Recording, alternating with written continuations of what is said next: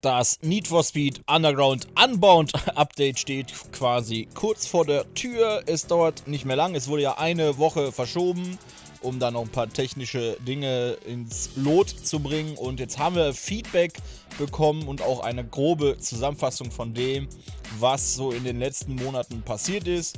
Da schauen wir jetzt gleich mal drauf. Wie gesagt, das, äh, das sind äh, Kommentare von den Entwicklern auf Kommentare von anderen Spielern, die sehr viel geliked wurden halt auf Instagram, Reddit und so weiter. Und naja, da gucken wir gleich mal rein. Das Ganze habe ich jetzt auf Deutsch gar nicht mehr gefunden. Keine Ahnung, ich habe es einfach übersetzt und äh, werde deswegen auch Gameplay einblenden. Aber erstmal gucken wir mal, was ihr da so veranstaltet habt.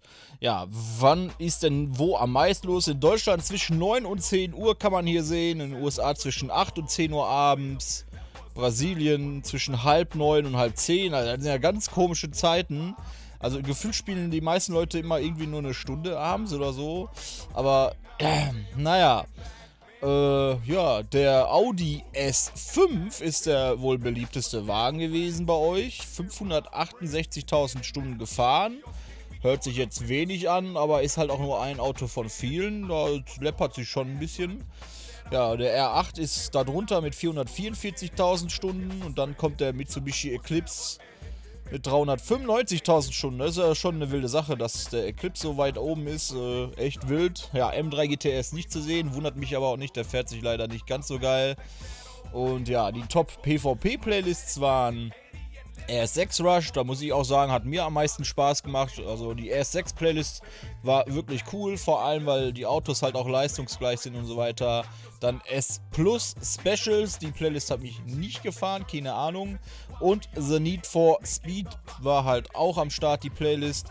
Ziemlich stabil bei euch gelaufen, weil wahrscheinlich alle dieses, ähm, diesen Banner haben wollten. Ne? Das steht ja dann unter deinem Profil The Need for Speed. Ja, auf jeden Fall eine ganz stabile Angelegenheit. Und ja, dann würde ich sagen, gehen wir mal rein in das Feedback, das die von euch bekommen haben ist ein relativ langes Feedback und äh, ich habe da jetzt einfach nur mit Gameplay reingepackt. Ihr könnt das nebenbei wie so ein Hörbuch laufen lassen, wenn ihr wollt, oder ihr zieht es euch halt rein, wenn ihr so Bock habt drauf auf das ganze Gameplay. Ich habe da ein paar Link-Ups gemacht und so weiter. Ne, nur damit ihr Bescheid wisst. Ne, kann man sich auch so nebenbei reinziehen, weil jetzt geht's richtig rund hier. Und da fangen wir an. Ne? Wo haben sie angefangen? S5 beliebter als der R8. Südkoreaner und Australier die größten Nachteulen der Truppe. Da gibt es viel zu überlegen. Gehen bla bla bla. Äh, okay, das ist jetzt nicht so wild. Hier geht es zum Feedback, genau. Jetzt wird es richtig wild auch direkt. Der Großteil eures Feedbacks wird während dieses Jahres des Live-Services nicht behandelt. Wir sind ein kleines Team mit straffen Zeitplan und arbeiten hart daran, euch alles zu bieten, was wir versprochen haben. Wir werden Updates vornehmen und Funktionen verbessern, wo es möglich ist. Aber der große Teil des Feedbacks wird gesammelt, um zu informieren, wie wir die Dinge in Zukunft angehen. Wir werden nur Feedback in diese Berichte aufnehmen, das sich auf das bezieht, was wir bei Unbound tun. Es gibt bestimmte häufige Community-Anfragen. Ich denke, wir alle wissen, worüber wir hier sprechen. Nein, wissen wir ehrlich gesagt nicht so genau, was ihr da gesehen habt. Woher sollen wir das auch wissen? Ne? Ich meine, vieles wird häufig gefragt. Das ist ein bisschen problematisch. Aber na, weiter im Text. Ähm, ja, also, wo waren wir jetzt gerade? Ich denke, wir wissen alle, worüber wir sprechen, bla bla. Die außerhalb des Rahmens dieses Projekts liegen. Und eine kurze Erklärung dazu wäre nicht hilfreich.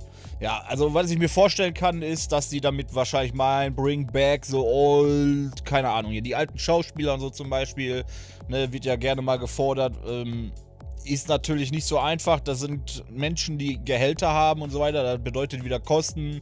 Und wir kennen EA, die wollen nur verdienen, die wollen nicht ausgeben am besten. Ne? Ist einfach so. Ne, da kann auch das, äh, oder hier die Entwickler, die können da ja auch gar nichts für. Die haben halt ihren Zeitplan, die haben ihr Budget und so weiter. Und ja, da kommt später noch eine Frage, die habe ich gestern schon gesehen gehabt. Da werde ich jetzt auch noch ein paar Worte zu sagen. Aber gut, gehen wir trotzdem mal weiter. Wisst, dass es gehört wird und dass eure Begeisterung geschätzt wird, aber wir werden diese Anfragen nicht in diesen End-of-Volume-Berichten behandeln. Ja, Wahrscheinlich dürfen sie das auch gar nicht seitens EA. Äh, ist ein bisschen blöd, dass man uns da trotzdem mal kein Feedback zu gibt. Vielleicht in einem Extra-Bericht dann oder so. Vielleicht kommt da ja noch was. Ich meine, die Leute schreien und schreien, schreien. Man kann die doch jetzt nicht so abspeisen und sagen, ja, nö, wir werden dazu nichts sagen. Wir wissen ja alle, wovon äh, hier, wir hier sprechen, aber wir sagen nichts dazu. Also das ist leider ein bisschen blöd gemacht. Also finde ich scheiße, ehrlich. Ne? It's no front gegen das Spiel oder sonst was, aber ja. Gib den Leuten doch einfach eine Antwort. Nee, sorry, Leute, ist zu teuer, lässt sich mal so eben nicht umsetzen, fertig. Keine Ahnung. Sagt das doch einfach. Was ist denn dabei? Wir wissen doch, dass EA ein geiziger Haufen ist. Ja. Äh. Sorry, ich muss mal kurz wiederfinden. So, wir konzentrieren uns auf die Reaktion auf Top-Feedback, das eine mehr oder weniger einheitliche Idee teilt. Okay, ja, das habe ich auch schon mitgekriegt. Die gucken halt wirklich auf äh, Sachen dann mit vielen Likes und so weiter. Und ja, wir kommen gleich nochmal dazu. Das ist nicht immer so praktisch. Aber ja. Äh, wo waren wir denn? Wo waren wir denn? So, einige der Top-Kommentare, insbesondere auf Reddit, sind lang und behandeln verschiedene Dinge oder machen viele verschiedene Anfragen. Sie alle diesen ohnehin schon langen Blogbeitrag anzusprechen, könnte außer Kontrolle geraten und potenziell verwirrend sein aber wir haben sie alle gesehen, hören euch und versuchen zu adressieren, was wir können. Also los geht's mit dem Feedback. Top-Feedback für den dedizierten PvP-Modus. Am meisten gelikte Antwort auf Twitter. Eine viel reibungslosere Erfahrung, wenn man zwischen PvP-Playlists wechseln möchte oder von PvP zu Free Roam geht, wäre wünschenswert. Ich versuche das hier gerade mal ein bisschen zu ergänzen, damit das äh, logisch klingt. Das ist hier ein bisschen komisch übersetzt. Beides erfordert derzeit ein vollständiges Abmelden und Wiederanmelden bei den Online-Diensten, was unglaublich langsam ist. Ja, das war immer so eine ganz nervige Sache, aber das haben sie mittlerweile, glaube ich, sogar schon ein bisschen geändert, dass man teilweise jetzt in die Garage reingeklatscht wird, anstatt äh, dass man ins Hauptmenü wieder zurück muss, wenn man zwischen PvP und freie Fahrt wechseln muss und so weiter. Also, ja. Ich glaube, das sagen sie aber auch gleich hier. Äh, selbst wenn man nur eine Pause machen möchte, muss man aus dem Online-Spiel aussteigen was die Stimmung stark beeinträchtigt. Ja, gut. Ja, fühle ich jetzt nicht so, weil wenn du jetzt länger nicht spielst, dann fliegst du halt vom Server oder so, weil sonst blockierst du ja einen Platz. Ne? Weil die meisten Spiele handhaben das so, dass man vom Server gekickt wird dann auch automatisch. Kann teilweise nerven, wenn du wirklich mal nur eben fünf Minuten in der Küche bist oder so. Ja, verstehe ich. Zehn Minuten, ja, muss man auch nicht, aber so ab 15 Minuten ich sagen, ja, dann fliegst du halt vom Server, weil, ja, AFK-Fahrmethoden, so kennt man ja auch. Da wünscht man sich ja dann auch, dass er verschwindet. Ne? Oder Spiele mit Warteschlangen und so weiter in den Servern da. Also, ja, also, weiß ich nicht. Muss man sich jetzt nicht so drüber aufregen, glaube ich. Gehen wir mal zum nächsten. Am meisten gelikter Kommentar auf Instagram. Als jemand, der zu Anbauen zurückgekommen ist, kann ich sagen, dass ich für die Belohnung grinden möchte und dass das Spiel zurück ist. Ja gut, den Text, der ist auch auf Englisch genauso lost, den habe ich auch nicht verstanden. Und äh, dass er grinden möchte, das einem Entwickler zu sagen, ist brandgefährlich, meiner Meinung nach. Weil, was, wenn die jetzt richtig fett grinden lassen, dann kommen wieder die anderen und sagen, ey, Bro, ich habe nicht mein ganzes Leben Zeit für irgendeine so Scheiße hier zu grinden, ne? Da gucken wir mal ganz unauffällig rüber zu The Crew Motorfest, ja? Man muss schon einen guten Ausgleich finden, ne? Also, es gibt halt Leute, die haben den ganzen Tag nichts zu tun und grinden und grinden und grinden. Es gibt aber auch Leute, die sind berufstätig oder Studium oder was weiß ich alles. Die können nicht so viel grinden. Also, da muss man schon vorsichtig sein mit der Aussage. Grind, äh, weil ich weiß jetzt nicht, wie es euch geht. Für mich bedeutet Grind halt auch wirklich richtig reinschwitzen und Stunden, Stunden, Stunden, Stunden, Stunden kloppen. Schwieriges Thema. Müssen wir mal gucken. Aber an sich wünsche ich mir natürlich selber auch, dass der Speedpass ein bisschen länger wird. Vielleicht kann man den auf Level 150 auch erweitern, ne, dass die Hauptsachen halt bis Level 75 kommen und Level 150 ist dann nochmal so ein Bonus, dass man irgendwelche Geldbelohnungen und so alles noch freischalten kann. Keine Ahnung. Naja, lässt sich viel machen. Theoretisch. Gucken wir mal weiter. Entwicklerantwort, es freut uns wirklich zu hören. Auch für den PvP gibt es noch viel, was wir tun möchten. Und, sicher, und sicherlich haben wir bereits viel darüber gelernt, wie wir so etwas von Anfang an in ein zukünftiges Need for Speed einbauen würden. Ja, also... Hm Die, sie sind also am gucken, wie sie noch mehr Grind ins Spiel kriegen. Ja, bin ich ja mal gespannt. Wir haben viel positive Stimmung rund um das PvP-Update insgesamt gesehen. Es gibt einige Kommentare zum PvP-Wechselablauf und zur Bitte, dass das Checkpoint-System etwas nachsichtiger, ähnlich wie in Heat, wo eure Geschwindigkeit beim Spawn beibehalten wird oder größer sein sollte. Was? Entwicklerantwort? Hä? Das ist auch wieder verwirrend. Die haben sich selbst geantwortet. Naja. Checkpoints und Rücksetzgeschwindigkeit sind etwas, was wir tun könnten, aber es könnte ernsthafte Auswirkungen darauf haben, wie die Leute daran gewöhnt sind zu spielen. Wir werden uns das für die Zukunft genauer ansehen, aber wir werden es wahrscheinlich in diesem Jahr nicht anfassen, wegen des damit verbundenen Risikos. Ja, gut, ich verstehe halt nicht so ganz, was er genau meinte mit dem Zurücksetzen und so weiter. Aber ja, wir gehen einfach mal weiter. Da haben wir noch mehr. Außerdem sehen wir, dass mehr Spielerinteraktionsmöglichkeiten geschätzt würden, wie zum Beispiel Emotes, GG, schönes Rennen, guter Noob etc. Hä? Was? okay. Mit anderen Spielern in der Lobby das sehen der Autos, Gegner, Modelle oder Streckenkarten vor den Events. Äh, damit, äh, das ist jetzt wahrscheinlich doof übersetzt, damit meint er wahrscheinlich, dass man mit anderen Spielern in der Lobby ist vor dem Rennen und dass man das Auto der Gegner sieht und so weiter. Ja, das ist ja eine Sache, die ich auch schon sehr oft gepredigt habe. Man kennt vielleicht aus GTA dieses Tuning-Treffen in der Tiefgarage da. Sowas in der Art würde ich natürlich auch in Need for Speed abfeiern, genauso wie in einem Forza und so weiter. Aber ja, das haben wir bisher noch nie bekommen. Äh, ja, man, so was Grobes gibt es in Motorfest, aber auch nicht wirklich. Da sind halt auch irgendwelche random Autos am rumstehen und ja, äh, ist auch nicht so ganz das, was man sich da vielleicht vorstellt, aber okay. Äh, wir waren jetzt gerade bei den Events. Schließlich gab es weitere Anfragen, die es den Leuten ermöglichen würde, zu wählen, ob sie mit individuellen oder Serienfahrzeugen fahren möchten.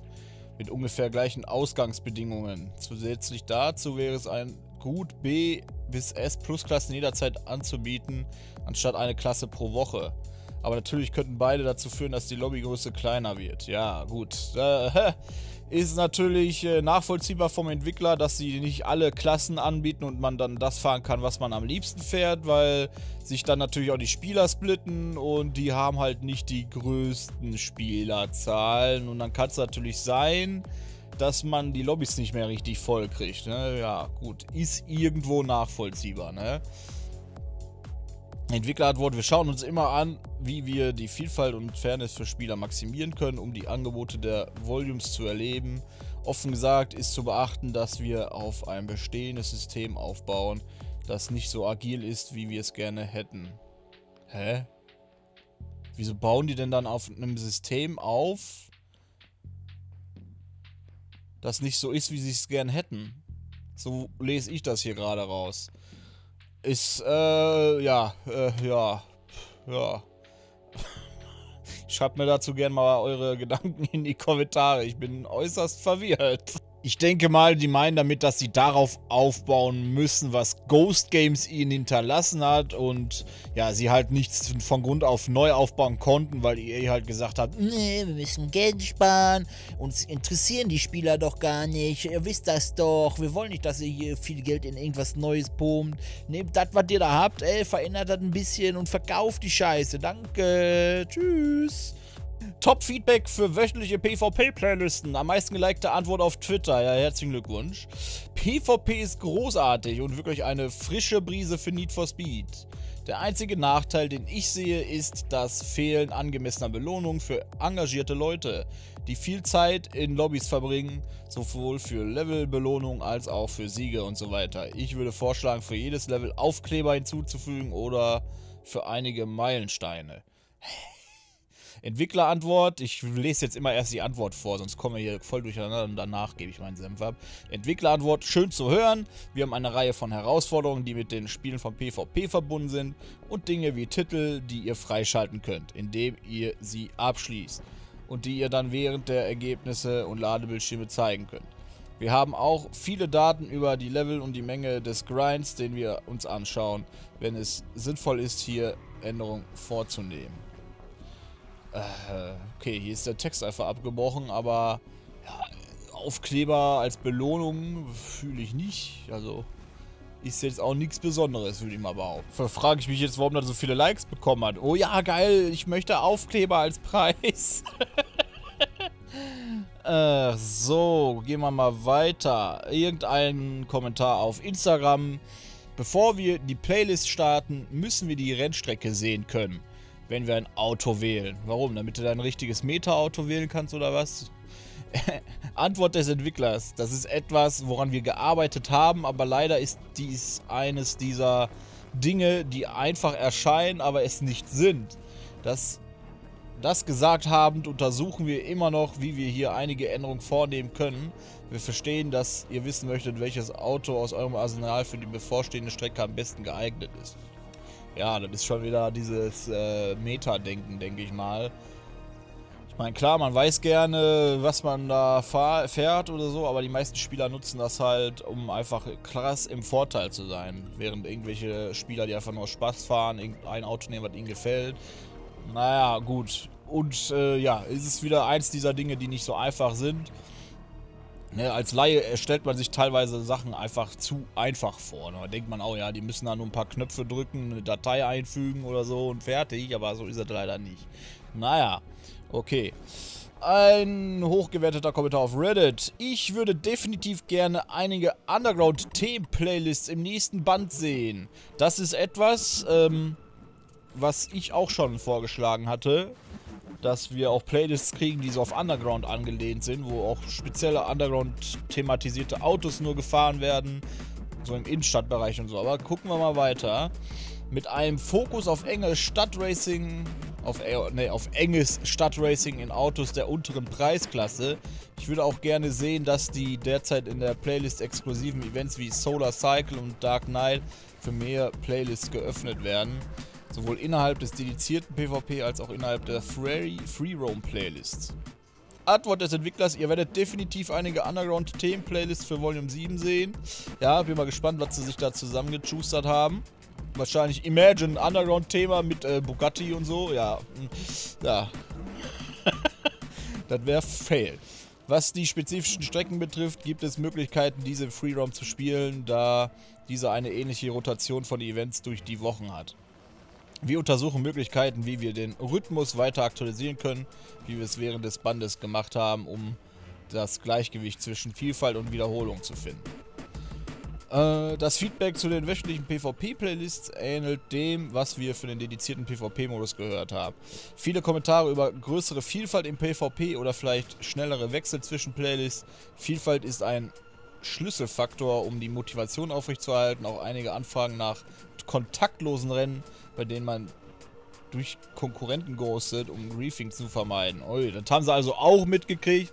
Beziehungsweise da gibt es halt wirklich Anfragen, dass man sich gar nicht berühren kann, dass man nicht crashen kann. Ja, ja. Wahrscheinlich auch leichter gesagt als getan, ne, durch diese ganze Windschattenmechaniken äh, und alles, was da alles so mitspielt. Schwierig. Aber dazu haben sie irgendwie nichts mehr genau gesagt. Ja, dann haben wir Feedback zu Audi. Äh, am meisten gelikte Antwort auf Twitter. Trägt definitiv das Audi-Handling-Modell auf den Rest, äh, oder übertragt definitiv das Auto-Handling von den Audis auf den Rest der Fahrzeuge. Ich finde es nicht fair, dass nur eine Handvoll Autos das neue Handling bekommen, aber nicht der Rest des Katalogs. Einige Autos wurden komplett mit Grip im Sinn gebaut und haben keinen Drift-Einstieg aktiviert. Sie untersteuern trotzdem noch. Antwort des Entwicklers. Wir freuen uns sehr zu hören, dass das Handling-Änderungen so dass die Änderungen so gut angekommen sind. Wir würden gern dieses Handling auf all unsere Fahrzeuge ausweiten, aber die Wahrheit ist, dass es viel Zeit braucht, um jedes Auto, das wir hinzufügen, auf diese Qualität zu bringen und wir haben derzeit nur einen Handling-Designer. Auch wenn er übermenschlich ist, ist das für ihn auch zu viel verlangt. Das gesagt habend werden alle neuen Autos, die wir dem Spiel hinzufügen durch den Speedpass, das neue Handling haben und wir werden versuchen, mehr hinzuzufügen, wo es möglich ist und Sinn macht. Also was sie damit sagen quasi jetzt, ähm, es ist halt nicht so einfach, mal eben die alten Autos alle zu aktualisieren. Das müsste der Typ halt Auto für Auto machen und gleichzeitig kommen ja dann, wie die jetzt meinten, neue Autos, die ne, neues Handling haben. Und der kann halt nicht an zwei Baustellen gleichzeitig arbeiten. Und da siehst du halt auch wieder diesen dreckigen Sparkurs. Sorry, dass ich jetzt schon wieder ein bisschen lauter vielleicht werde oder so, aber es ist einfach wieder diese Sch Politik von EA. Wenn die hier schon wieder schreiben, wir haben nur ein Handling-Designer, also ein Typ, der sich darum kümmert, dass die Autos sich so fahren, wie sie sich fahren. Ob man es jetzt mag oder nicht, ist eine andere Frage, aber trotzdem müsst ihr überlegen, da sitzt ein Typ und muss sich alleine um den ganzen kümmern. Ja, das ist einfach wieder EA, die haben voll Geld und Need for Speed natürlich, ja, auf Need for Speed, die kriegen dann nur ihr kleines Team und fertig. Also es ist so lächerlich, wie EA quasi auf die Leute das, also, boah, da kriege ich einfach wieder Puls. Mensch, seid froh, ich keine Webcam anhabe. Äh, wird nur noch eine dicke Ader zu sehen sein. mein Gott, gehen wir mal weiter. Ja, schade. Aber ja, äh, neue Autos, neues Handy. Ich bin gespannt. Freut mich auf jeden Fall. Auch wenn das äh, Drift-Handling noch nicht perfekt ist. Aber die meinten ja, die arbeiten daran. Bin mal gespannt, ob es mit dem Update dann sich auch ändert. Aber mal abwarten. Ich bin nicht guter Dinge. Ich glaube nicht, dass es viel krasser wird. Aber ich warte erstmal noch ab. So, ähm, am meisten geliked auf Instagram. Das Handling, besonders beim R8, ist sehr gut. Auch die Soundverbesserung ist großartig. Ältere Audis wieder RS2 Avant oder die alten Rallye-Audis wären fantastisch. Gute Arbeit, Leute, macht weiter so. Antwort des Entwicklers nochmal, bla bla, danke, bla bla bla, danke, danke, danke, ja, ja, ja, ja. Die Handling-Änderungen sind tatsächlich Teil des zukünftigen Denkens, das wir bereits untersuchen. Also freut es uns zu sehen, dass wir in die richtige Richtung gehen.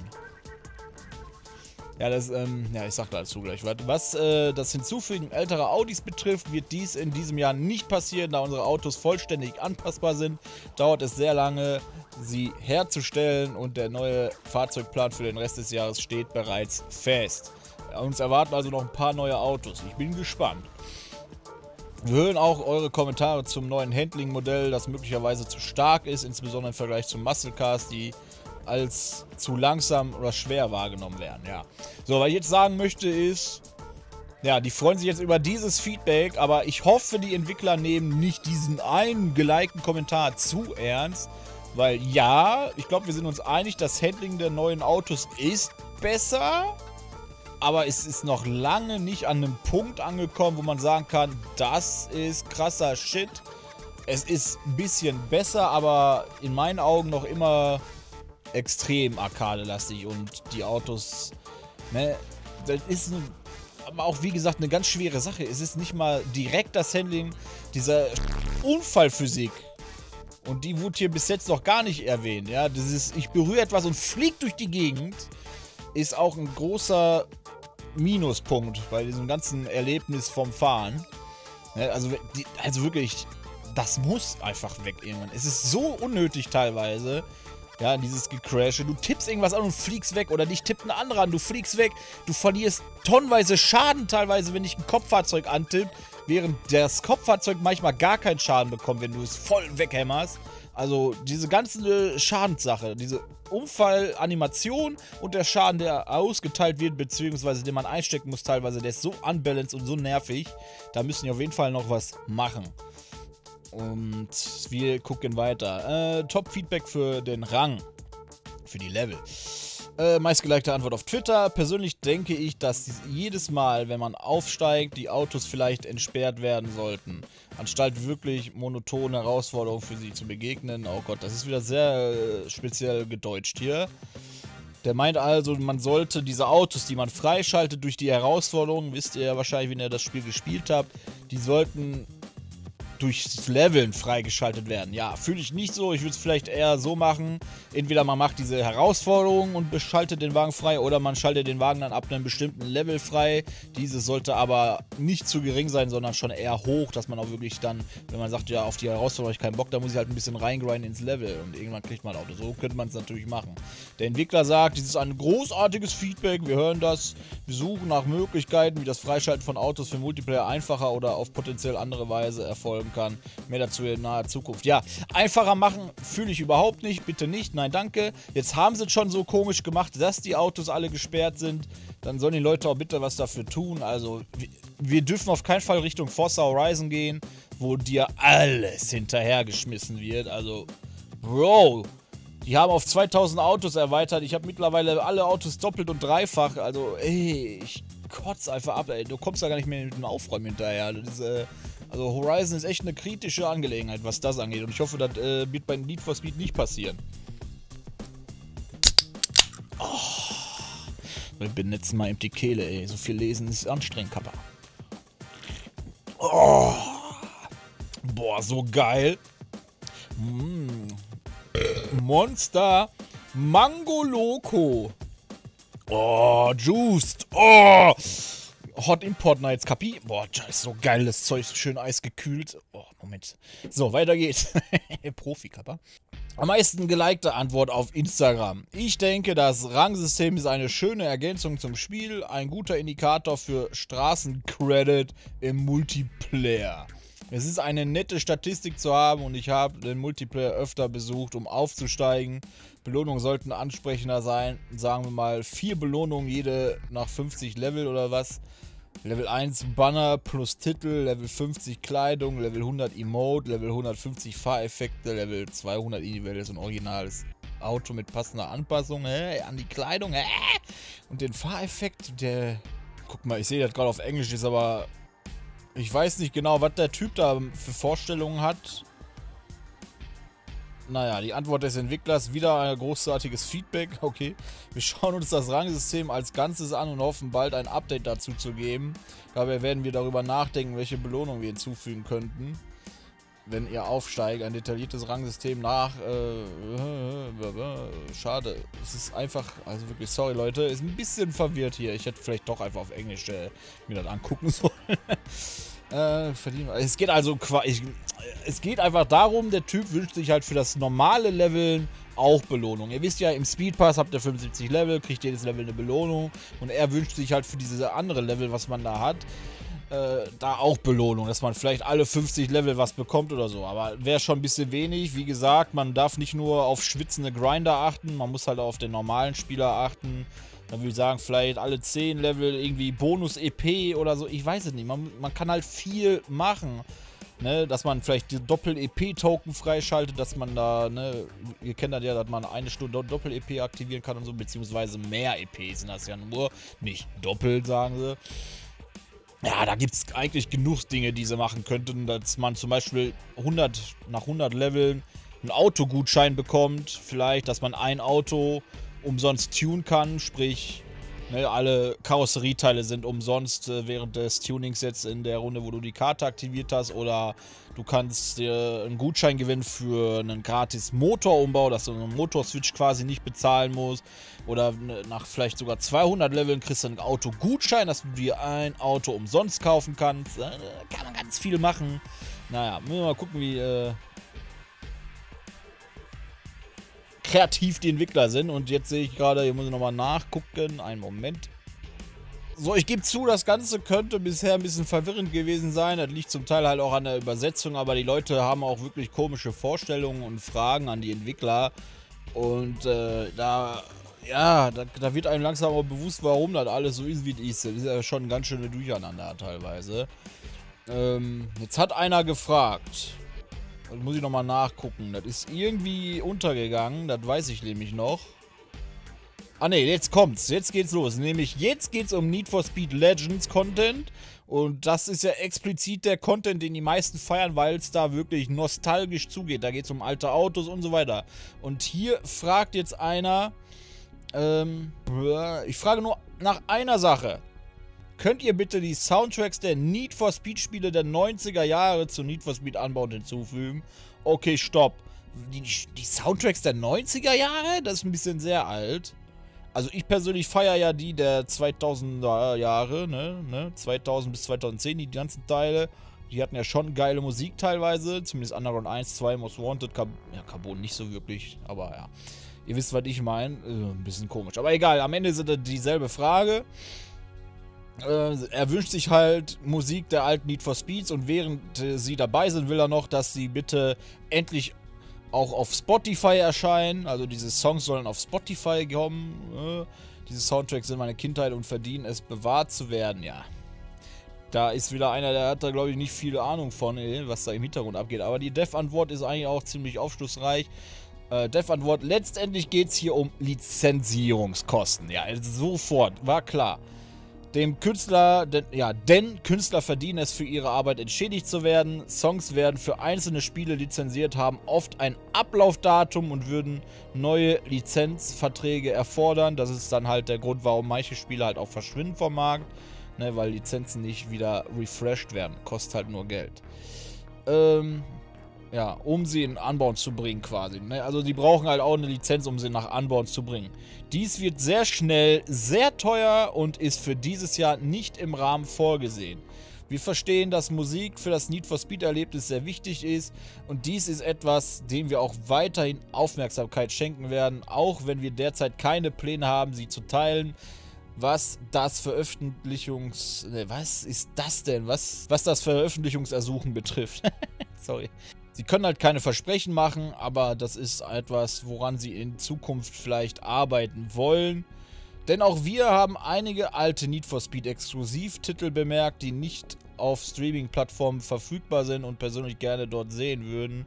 Es könnte nicht möglich sein, dass wir müssen vielleicht auf den richtigen Moment warten, aber vertraut darauf, dass wir aufmerksam sind. Also das ist aber ganz komisch wieder übersetzt. Auf jeden Fall, die haben das auf dem Schirm, die würden halt auch gerne alte Sachen sehen, aber es geht hier noch weiter. Abgesehen vom Musikwunsch scheint es insgesamt, dass ihr den nostalgischen Inhalt, den wir zu Need for Speed Unbound gebracht haben, wirklich genossen habt. Ja, da geht es gleich nochmal weiter. Ja, wie gesagt, das mit der Musik ist eh lizenzgebunden und so weiter. Und ich verstehe auch nicht, warum manche Leute nicht einfach sich eine YouTube-Playlist zusammenbauen. Also auf YouTube ist sowieso alles, da scheißt eh gefühlt jeder auf Lizenzen. Also da findest du jeden Song.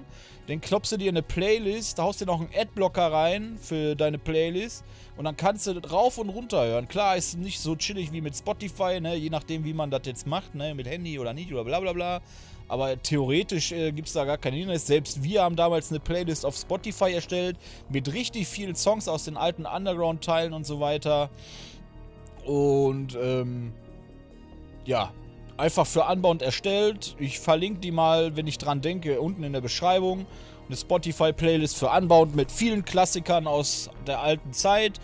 Gönnt euch die Playlist, vielleicht gefällt sie euch ja und dann habt ihr da eure Playlist. Also da braucht man jetzt auch nicht den Entwicklern auf den Sack gehen, hat die da irgendwie Musik einführen, weil leg das mal irgendeinem EA-Typen auf dem Schreibtisch. Ja, hier, die Leute möchten mehr Musik, das, ne, Lizenzkosten. Der Typ, der das da hingelegt hat, wird wahrscheinlich direkt aus dem Fenster geworfen, wie bei diesem einen Meme. Ähm, ja, gehen wir nochmal weiter. So viel zur Musik auf jeden Fall. Äh, äh, ja, sie haben halt äh, auch wirklich gesehen, dass der nostalgische Inhalt gefeiert wird und so weiter. Dass wir ihn genossen haben quasi. Das wird mit Volume 7 Drift and Drag richtig losgehen. Inspiriert von Need for Speed Underground 1 und 2 wird sich durch den Rest des Jahres fortsetzen. Ja, bleibt mal abzuwarten. Ihr wisst ja, ihr könnt darauf vertrauen. Ich werde euch da ein neutrales Statement zu geben, beziehungsweise ein Feedback. Und äh, ja, ich werde das auf jeden Fall ganz genau unter die Lupe nehmen, weil ich glaube, den Stil kann man schon kopieren. Das Gefühl können sie nicht kopieren, das ist klar. Aber schauen wir mal, was die da gemacht haben. Ob die sich wirklich an die Vorgänger gehalten haben oder ob die da irgendeine Kacke gemacht haben und das äh, jetzt als nostalgischen Inhalt verkaufen wollen, der aber eigentlich nichts damit zu tun hat. Schauen wir uns dann genau an, wenn es soweit ist. Die andere Hauptanfrage zu diesem Thema ist das Feedback das nicht beim Namen genannt werden darf. Dass wir bereits gesagt haben, dass wir es in diesem speziellen Blog nicht ansprechen werden. Lol. Ja, mehr nicht. Ja, keine Ahnung. Irgendwie eine Hauptanfrage. Wahrscheinlich, was ist mit Most Wanted 2024? Könnte ich mir jetzt vorstellen. Oder was ist mit alten Schauspielern, ne? Bla bla bla. Also die machen da irgendwie aus irgendeiner Sache ein Riesengeheimnis. Wie schon am Anfang in dem Text und keiner weiß, worüber die da überhaupt reden. Ja, keine Ahnung. Ich kann mir nur vorstellen, dass es da um Most Wanted geht, um die Gerüchte ne, mit, von dem Remake und so weiter. Und die sagen halt, ja, sie dürfen das in diesem speziellen Blog nicht ansprechen oder so. Beziehungsweise sie werden es nicht ansprechen und äh, ja, darf halt auch nicht genannt werden. Also ich sehe da zwei Möglichkeiten. Erstens, EA hat gar keinen Bock auf diese ganze Thematik, weil, ja, für die ist es halt eher rufschädigend, weil, ja, Most Wanted wischt sich alle, weil sie alle wissen, es war ein geniales Spiel. Es war einfach Peak EA Rennspiel. Und ja, heutzutage einfach nur Mühl und die haben halt kein Interesse, da Geld rein zu investieren in so ein Remake. Oder da ist wirklich was am Kochen im Hintergrund. Und äh, die machen da natürlich ein Geheimnis draus, so wie Rockstar versucht hat. Äh, ja.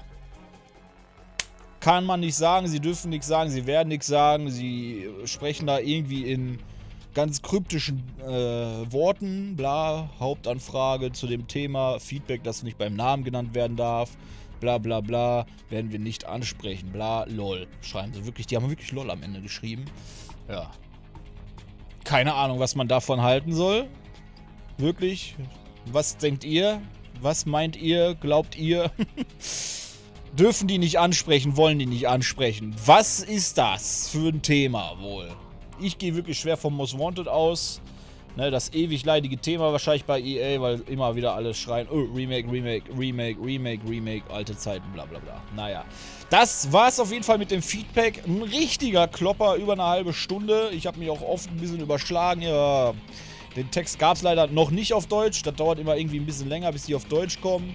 Ich habe das Ganze hier einfach mal durch einen Übersetzer geklotscht und wir wissen ja, was dabei rauskommt teilweise. Aber ich denke mal, im Großen und Ganzen hat man es verstanden. Und ja, ein paar Tage noch, dann ist es ja eh soweit. Dann kommt das Update. Wir werden uns das im Livestream genau angucken. Ja, und ja, wer Bock hat, lasst gerne mal ein Follow auf Twitch da. Link ist in der Beschreibung. Ne, da streame ich aber auch alles Mögliche teilweise. Wundert euch nicht, wenn ihr da Need for Speed erwartet, kommt rein und ich renne auf einmal als Wikinger rum und schlachte unschuldige Tiere ab. Ja, das passiert manchmal. Ähm, ja, ich bedanke mich trotzdem fürs Zuschauen und für die Aufmerksamkeit. Lasst ein Like da, wenn ihr das noch nicht getan habt, um den Kanal zu unterstützen. Ein Abo, wenn ihr das auch noch nicht getan habt. Empfehlt es gerne euren Kollegen und wir sehen uns im nächsten Video. Vielen Dank und auf Wiedersehen.